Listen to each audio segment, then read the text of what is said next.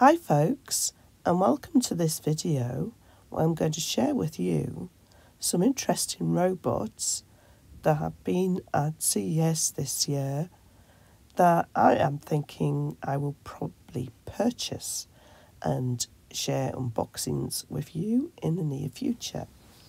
Apologies once again for the croaky voice.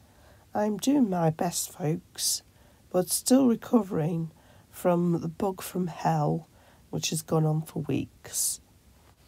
So this is the first one. It's been, it's by one of my favourite companies, Yukai Engineering.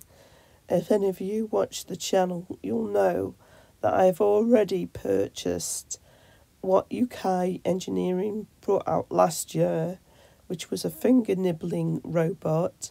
In fact, I loved it so much, I had to go for the whole package, including the pacifier, as well as both versions of the finger nibbling robot, because it came as this cat version and also the dog version, so I had to have the two, of course.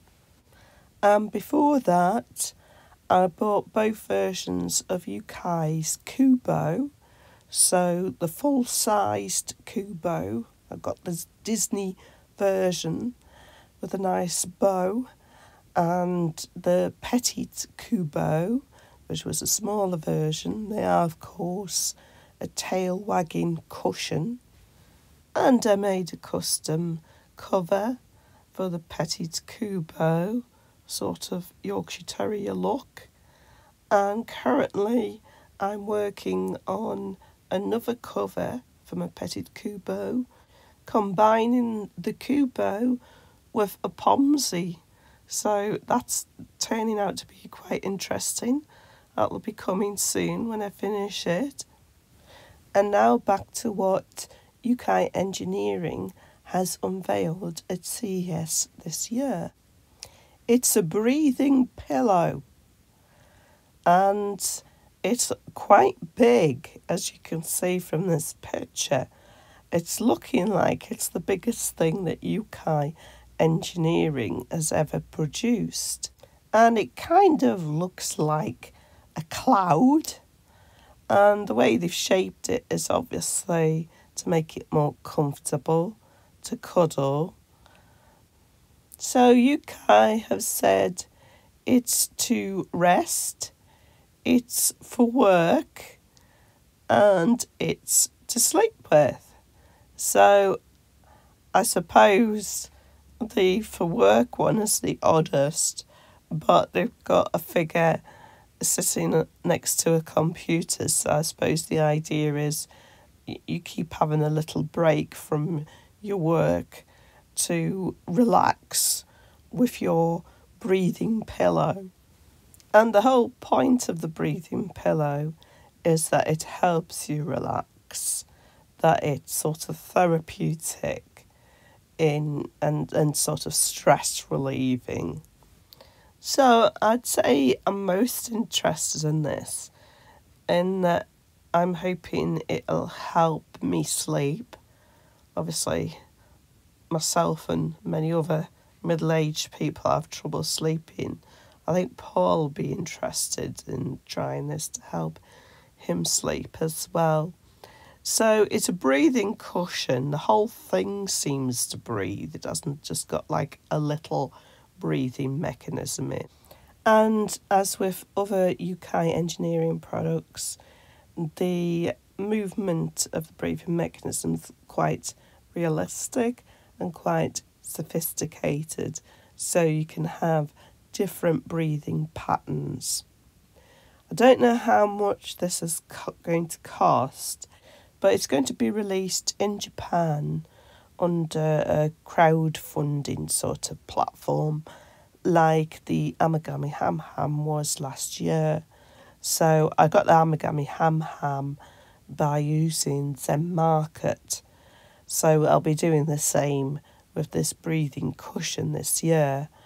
I should think it's going to cost quite a bit because it is quite a big model, so I can't think it's going to be that cheap to start off with. And also because it's large, I would think the postage from Japan's going to be quite a bit. But whatever it is, I'm sure it's going to be worth it. And this is the name of this new product. I'm not quite sure how you pronounce it. Foofully? Foofully? Foofully? That's what that's the name of it anyway. Yukai unveiled not one but two new items at CES this year. They also unveiled this that is just a prototype at the moment. They called it Lightony, and it's like light and Tony put together for its name. And uh, this thing is absolutely adorable. I, I think this is a stroke of genius.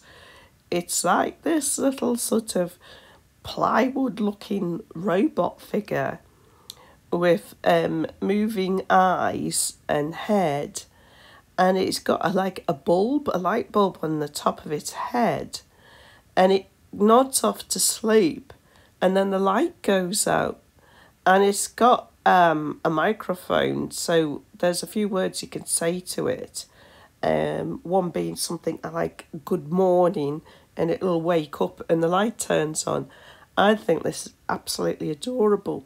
But this is in the very early stages, so I don't know when we're going to be able to purchase this. But I'll certainly be keeping an eye out to see the development of this little guy because that is definitely on my wish wish list. And the other thing I've seen so far at CES that I plan on purchasing is this little fella, this little robot dog. It's by WowWee and it's called Dog E, which I think is a brilliant name. So, Dog E is going to come with an app.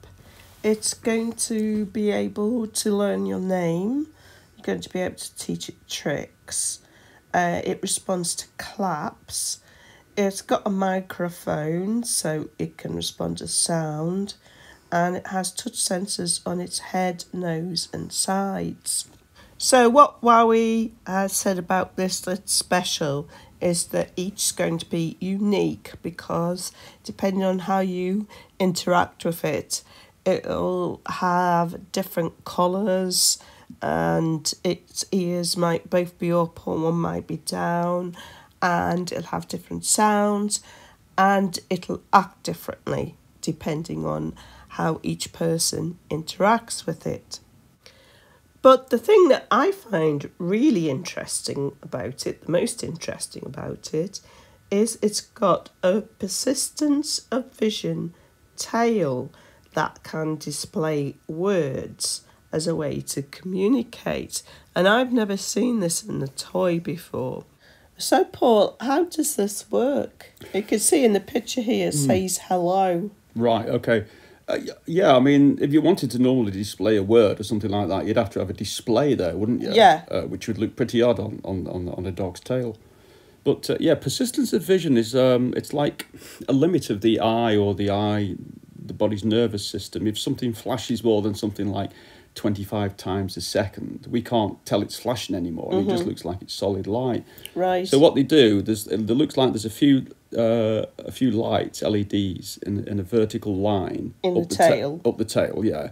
So if they make the tail vibrate from side to side very fast, mm-hmm. uh, and there's a micro uh, controller vibrating it, so it know, knows how fast the tail's vibrating, and it turns on the little LEDs and the right at the right time, it'll leave a dot. It'll look like a dot that hangs in the air to our eye, and because it's vibrating from side to side, uh, they sort of join up into a, word. Mm. I've never seen that before. Yeah, well, as I say, if you wanted to display something, you normally use like an, an LED or a liquid crystal display, but you couldn't have that on a dog's tail. It's a very clever idea to have a it's dog's tail spell something out in the yeah. air. It, it, it, it's a way of like conveying an emotion, isn't it? In Yes. a dog's tail, and it's Yeah. conveying an emotion by telling you a word. Yeah, it's so very, clever. very clever idea. so yeah, clever. yeah. So, I mean, apart from that, I didn't find this that interesting. It's it's that thing that Mm. with the tail that's really caught my uh, attention. Um, the dog's got lots of moving parts on it. It can move its head. Uh, it's got like quite a quite a wobbly head, and it can move its tail obviously, and it can move its legs, and it's able to walk and it's going to be priced at $80, which seems very reasonable, and it's going to be available in the fall this year. So, Paul, what do you think of these three items that have appeared at CES? Uh, the Yukai engineering things, uh, the cushion and the, the lamp, I think are great. But those are aimed at adults, really, aren't they? Yes. Dog-E uh, by WowWee. Uh, it's not bad, not bad for a toy. That don't really appeal to me, being an adult, but um, it's got some interesting bits and pieces on it. Are you not? Do you not think it's fascinating that The uh, tail, yeah, the tail's Yeah. terrific. Yeah, I'm not, I'm not quite, I'm not really keen on all the lights and, and that on it, apart from the tail. No, they didn't uh, do anything for me. But that that that tail displaying words, I, I'm fascinated by it. Mm, I suppose it appeals to kids to have something that's, uh, you know, they get it out of the box and they'll say, well, mine's different than yours because. Oh yeah, I mean that's why All they, these they're selling combinations it of- on this yeah. unique Yeah, that, that, that's interesting. interesting aspect. idea. So, folks, that about wraps it up for this video. I'll keep my eyes open and see if anything else crops up at CES. Don't really expect it to, though, because last year the only thing I was interested in mm-hmm. was Amagami Ham Ham Oh, yeah. by Yukai, which of course I got. I didn't see anything else I was interested in. So I don't really expect that there's going to be anything else. But you never know, so mm. I'll keep mm. looking. But that's it for this video. Thanks for watching as always, and see you next time.